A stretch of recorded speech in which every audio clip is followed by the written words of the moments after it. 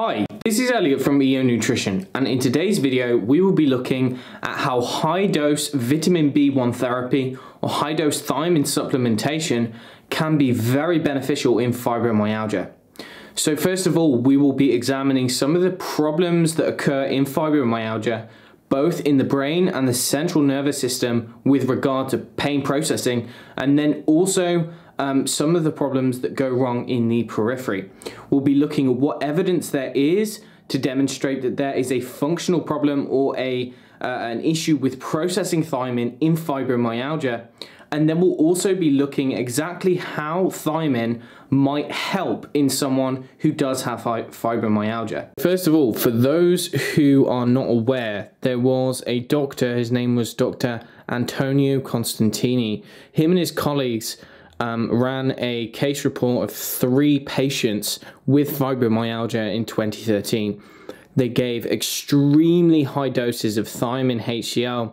This was ranging between 600 milligrams per day and 1,800 milligrams per day, which the patients took orally. Now, just for reference, the recommended daily allowance is between 1 milligram and 1.5 milligrams. So that was up to 18, um, 1,800 times the recommended daily allowance. So what they found after 20 days, um, 30 there was a 37 to 71% reduction in fatigue and a 50 to 80% reduction in pain.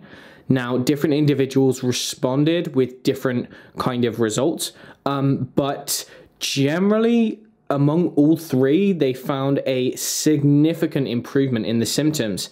Now, one of the interesting things was that two of the patients saw no benefits until they got up got up to 1,500 milligrams. Um, and this is quite common, I think, is that people might read about thiamine and they try it at a, a low dose or the wrong form, and they do not see the benefits. So, in that case report, the doctor who who authored the study um, essentially hypothesized in a similar way to Dr. Derek Lonsdale that what was going on was that there was perhaps some kind of an enzymatic downregulation, maybe some kind of a genetic polymorphism in the way that cells utilize thiamine, and that this required very high doses. So, I highly recommend for anyone who's not familiar with this study to check this one out. It was a small sample size, but it definitely did provide some interesting results. Now, this is something that I have also seen clinically, and it's important that we try to flesh out the details so that we can understand how this simple nutrient, vitamin B1, can provide such amazing results in a very complex condition like fibromyalgia. To understand how thiamine can be beneficial in fibromyalgia, we need to look at some of the basics of how the body processes pain. Now, this is a highly simplified look at things, and I go into a little bit more detail in an article that I wrote on this topic, and that is linked in the bottom of the, the video. So, the nervous system, the way that it is detecting pain, um, the process is actually referred to as nociception. So, nociception is pain sensing. And so here's a, a pretty simplified diagram, but essentially stimulus is detected via sensory neurons, and this is in the periphery. So this can be in the hand or in the leg or on the skin, wherever. And what is essentially happening is the information is carried up these neurons up to a portion of the spinal cord, and this is referred to as the spinal dorsal horn. The information is then relayed through a couple different cells and it's passed up to the brain where it's processed. And it's processed in a variety of different brain regions. It's being passed from one area to another area, and you're having amplifying or dampening signals there. And then we are having the perception of pain. That's how we are feeling pain. And pain or nociception can be kind of uh, classified as two different branches. So we have pro-nociception and we have anti-nociception. Pro-nociception is essentially the function or a set of pathways and functions in the brain and in the nervous system which essentially act as an on switch for pain. They increase it, they amplify it. And the neurons um, passing these messages essentially use or yeah, they, they utilize specific um, neurochemicals. These include substance P, the, these include um, the excitatory neurotransmitter glutamate, and there is also nerve growth factor. On the other hand, we also have a counter-regulatory or opposing function, and this is referred to as anti-nociception. And so this is playing an inhibitory role. It essentially is the off switch for pain. It can decrease pain.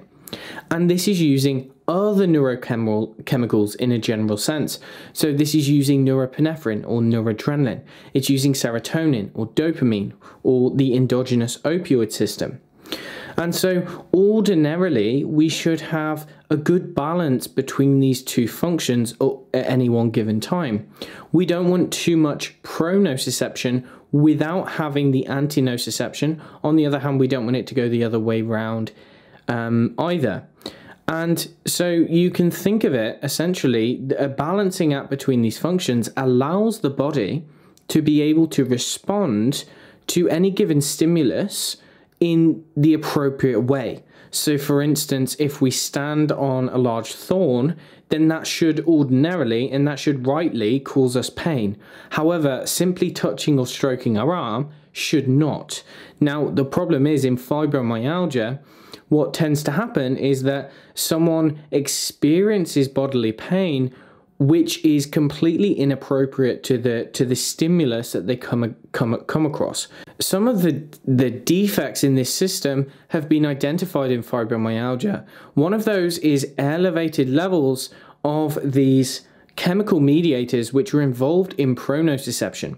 So these are substance P and nerve growth factor. These, have been found in higher amounts in fibromyalgia. Likewise, there has been found to be um, higher levels of the excitatory neurotransmitter glutamate in several areas of the brain. So uh, the spinal neurons have also been identified to be hypersensitive. So we will go into this in a little bit more detail later on, but essentially what it means is that the messages which are responsible for producing the feeling of pain can um, can occur at an increased rate. Furthermore, there is also immune activation in the brain which can increase the pronociception function. On the other hand, the chemical mediators which are supposed to be involved in the inhibitory or the anti-nociceptive function, the, the, this, this system which is meant to dampen pain, um, generally there have been shown to be lower levels of these chemicals, so dopamine, serotonin, and norepinephrine. And so here's another very basic diagram. Essentially, nociceptors are the sensory receptors. They are the receptors which are detecting stimulus, detecting information. They are carrying that to the spinal cord. And in fact, there are cells or bundles of neurons located along the spinal column, and these are referred to as uh, dorsal root ganglia. Uh, they're abbreviated here as DRG. The dorsal root ganglion have been th are thought to play a key role in um, in chronic pain disorders, and this is because they are responsible for conveying information to the higher centers um, to tell the brain that there is a painful stimulus. Now, ordinarily, when this is done at a normal rate, then this is not a problem. However, we can develop what is referred to as hyperexcitability. And this is when you have excessive firing of these neurons and this relates to the excitatory neurotransmitter glutamate. What can happen there is that you have excessive signals sent to the brain to communicate pain when this is inappropriate for the type of stimulus that the body is coming into contact with.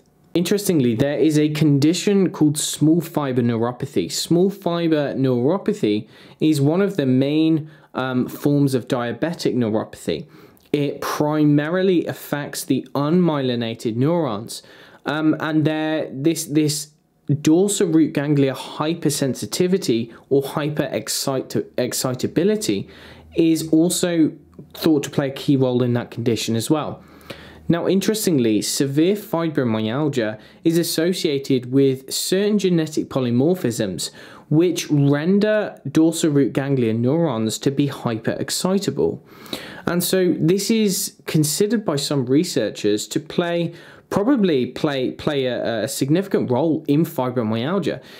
It's interesting because around 30 to 50% of fibromyalgia patients have been found to have neuropathy, small fiber neuropathy in particular. And this has led researchers to, to, to theorize that the pain in fibromyalgia may also be neuropathic in origin and may relate directly to the hyperexcitability of these DRG neurons. In fibromyalgia, there is mitochondrial dysfunction. So, contrary to popular belief that, that fibromyalgia is merely a psychosomatic disorder, essentially there are genuine changes in how the cells process energy. So, in skin biopsies, in muscle biopsies, and in white blood cells, there are several markers of mitochondrial dysfunction. Many of the enzymes which are involved in ATP synthesis, whether it be in the Krebs cycle or whether it be directly in the electron transport chain, there are defects in how these enzymes work. So some enzymes are structurally abnormal, other enzymes are working at a lower rate. Um, the mitochondria itself, the cristae, are um, irregular, they're weird shapes and sizes. There is deletions to the mitochondrial DNA, this has been shown. There is excessive reactive oxygen species, and there is also a lower ATP production and excessive lactate or lactic acid synthesis. If we look directly at the biochemical markers of what occurs in fibromyalgia, it's very much a systemic disorder. The evidence has shown elevated levels of lactic acid, and this positively correlates with the amount of pain experienced in the muscles of people with fibromyalgia. There are elevated levels of DNA damage and oxidative stress. There are depleted levels of glutathione, catalase, and superoxide dismutase. So these are uh, key intracellular antioxidants. And when there are low levels, generally that is indicative of systemic oxidative stress. Furthermore, there is excessive reactive oxygen species. Now, it's interesting because excessive reactive oxygen species are directly related to pain, um, chronic pain, to pain sensitization, and this is through multiple mechanisms which I speak about in the article. I just mentioned lactic acid, and for those of you who aren't aware, you will be familiar with the burn of lactic acid if you recall back to a time that you've done strenuous exercise and you feel the burn in your muscle. Essentially, lactic acid is a normal byproduct of metabolism and is produced all the time in very small amounts. It's actually really important in the brain. However, when it's produced in too much quantity, it can cause problems. Um, but it's also more reflective of an underlying problem with metabolism, which is going to produce or is going to uh, produce a situation where there is a lack of cellular energy.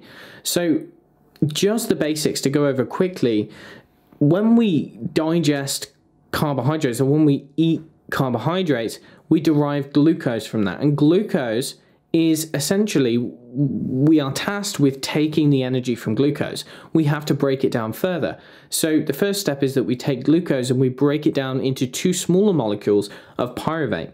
Now pyruvate is ordinarily fed through an enzyme called pyruvate dehydrogenase and that is using thiamine as a cofactor among other things. Now this is the initial step towards what is referred to as oxidative metabolism for several different reasons, which are way too complicated to go into in this video. Uh, essentially, when there is a block on pyruvate dehydrogenase for whatever reason, a couple of examples could be hypoxia. So when we do not have enough oxygen, when we are lacking in one of the cofactors, when we have mitochondrial dysfunction, alternatively, when we are deficient in thiamine. You see that thiamine, the TPP active form of thiamine, is a cofactor for pyruvate dehydrogenase. And so if we do not have that cofactor, or any of the other cofactors for that matter, then pyruvate dehydrogenase is effectively inhibited or blocked or inactivated. And so what we end up doing is for reasons that I'm not going to go into in this uh, talk, we end up shunting pyruvate towards um, this metabolic byproduct, which is called lactate or lactic acid. Now, unfortunately, when we have chronic mitochondrial dysfunction and we shift metabolism towards this anaerobic, this non oxygen um, using pathway, we're yielding much less ATP, much less energy, we're yielding lots of lactate. Now, lactate changes the way how cells work in a variety of ways. Um, but what it also does in the context of fibromyalgia is it signals for inflammatory markers, chemicals which will increase pain. It also changes the tissue pH to become more acidic, and there we have sensitization of neurons, which effectively cause pain. So, this is one of the ways by which mitochondrial dysfunction in the muscles, in the periphery, and this is completely separate to having central sensitization with pronociception and antinociception. This is actually um, a chemical abnormality which is causing pain and discomfort in the muscles, which is being detected by the sensory neurons, and the information is sent to the brain. So there are findings in fibromyalgia which are consistent with this idea that there is a functional thiamine deficiency. And that might mean that they are getting enough in their diet and they might have enough in their blood, but the cells are not using thiamine in the way that they should. So in fibromyalgia, we have higher levels of pyruvate have been identified. There is also a high pyruvate to lactate ratio and a high TPP effect. So, what these are consistent with is um, they are generally what you would find also in a thiamine deficiency. All of these things have been noted in a thiamine deficiency. Another thing that they found was that the enzymes which use thiamine um, they had a very low uh, affinity for the cofactor, so for, for thiamine itself. And this is a problem. Essentially, what this means is that you need more of the cofactor, in this case it's thiamine, you need more thiamine to achieve the same amount of enzyme activity, so to convert one thing into another thing, um, than someone else would. So, in simple terms, the requirement for thiamine is significantly higher because the enzyme does not have as much affinity for the cofactor, you've got to give more cofactor. And finally, what they also found was that there was lower levels of active TPP. So blood levels have shown that thiamine is fairly normal in fibromyalgia in a couple of studies. But this collection of findings, along with the clinical experience of many who have seen that fibromyalgia greatly responds to thiamine therapy, it's conceivable, and I believe it to be the case, is that in fibromyalgia, like many other conditions, there may be this, this fundamental problem inside cells with how they are processing the nutrient. And it simply might be the case that the only way to bypass these issues with processing that nutrient is to give them in higher amounts. And when we're talking about higher amounts, we're talking about megadosing. And so simply giving 10 or 15 times the recommended daily allowance may not be effective to bypass these problems. How does thiamine actually work in fibromyalgia? How can it achieve remission in some people? How can it reduce the pain? How can it improve the fatigue? Well, if we look at the brain, thiamine has been shown to clear excess glutamate. It can reduce, there was a study showing that it reduced the DRG neuron, the dorsal root ganglion neuron, hyperexcitability. Now remember that the excess glutamate is going to stimulate hyperexcitability or neuroexcitotoxicity.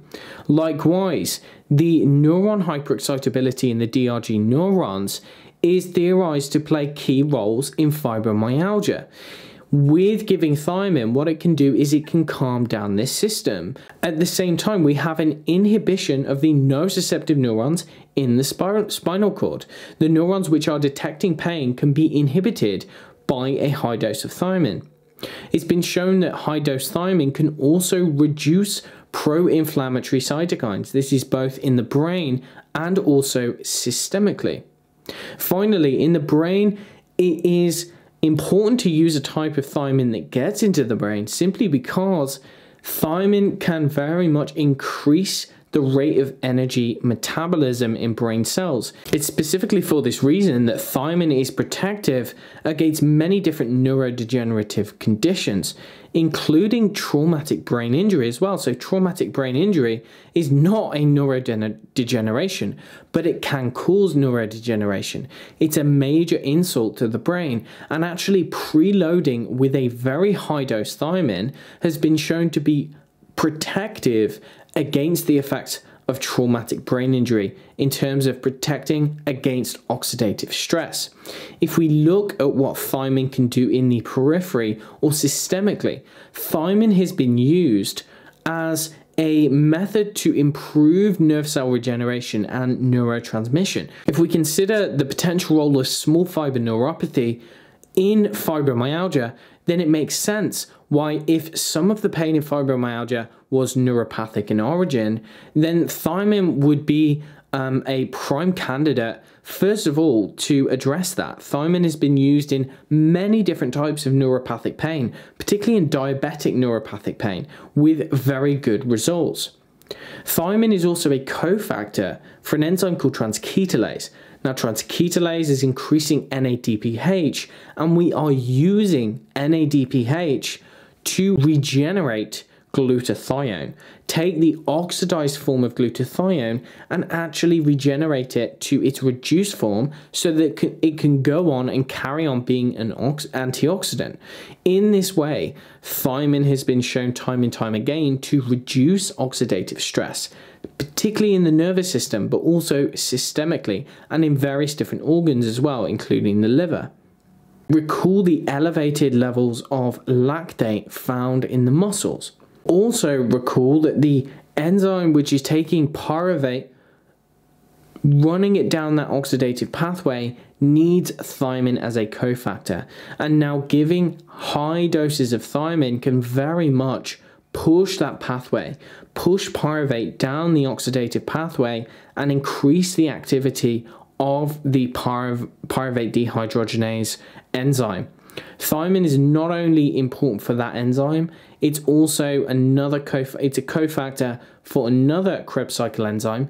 But on top of that, it is an allosteric um, activator or regulator of various other enzymes in the process as well. So, giving a high dose thiamine can actually support the activity of a variety of enzymes involved in energy metabolism, which thiamine is not directly a cofactor for. The analgesic effects of thiamine have been shown many times before. So one one research study showed that there um, that high dose thiamine was effective against thermal hyper, hyperalgesia, so thermal pain basically. Um, they also found that in the animals, giving a high dose reduced the edema in paws, which suggested that it was also anti-inflammatory at the same time. It has been used in arthritis. Um, it reduced the pain in chemical induced arthritis, and it's been used in children with a condition called acrodynia. Acrodynia being pain of the hands. Now, these children also had high pyruvate. That is something that we find in fibromyalgia uh, subjects in, in the research. And it's been shown that giving high dose thiamine um, in these children, the disappearance of symptoms occurred within a couple of weeks.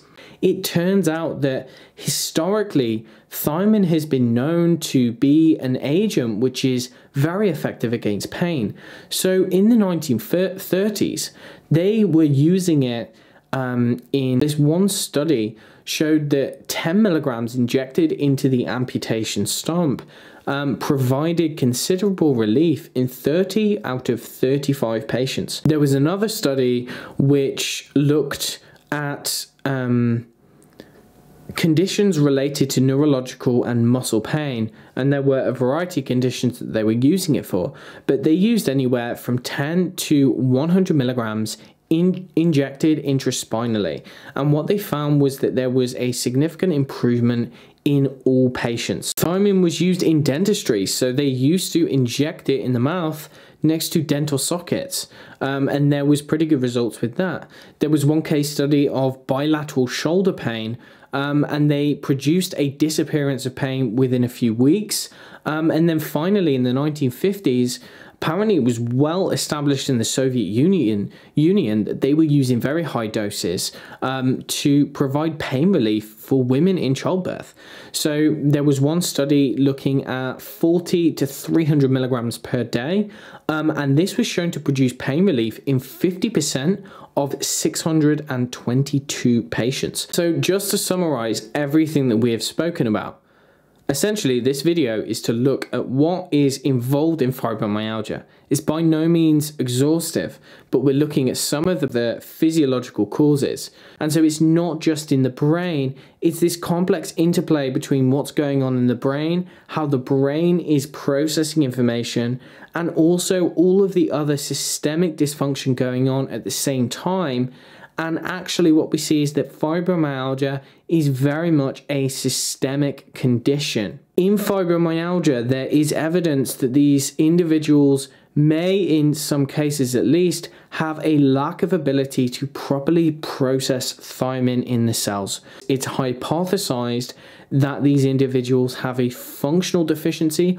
or maybe they have some kind of enzymatic abnormality, some enzymatic down, downregulation, and there have been a couple of case studies which have shown that they respond very well to high dose thiamine.